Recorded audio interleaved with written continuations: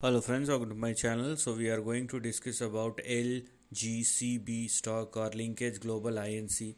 So after a massive downside, the stock went up higher, or at least it is uh, it was trying to move higher, but it turns out to be a volatile trend because it went up higher and then suddenly the volatility hits the stock and now the stock started falling down.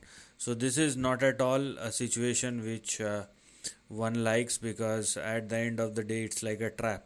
So first of all we have 0.30 as our support and we have 0.28 as far as the stop loss is concerned. So please do not go below 0.28 or less otherwise downside will resume again. Now if you are still very very hopeful about an upside or uptrend even in the near term then for that to happen the stock must surpass and sustain above these two levels which are 0.43 and 0.51 so right now the stock is trading in between the range. And if you do like this stock and uh, if you don't know how to deal with this situation then leave this highlighted section. Let the stock regain its strength once again and let it surpass and sustain at or above 0.43 and 0.51 even if you are looking for a near term upside right? So let it surpass and sustain above that.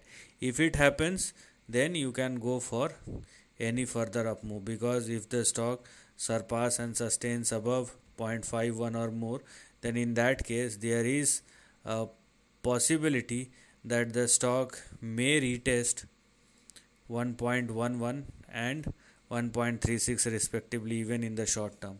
But that is conditional and for that to happen the stock must surpass and sustain above 0.51 or more then this highlighted section will become active.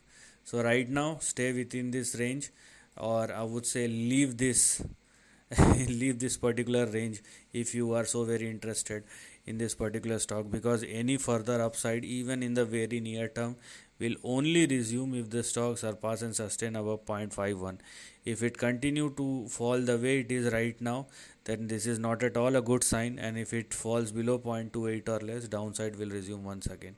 So this is the end of the video. Thanks for watching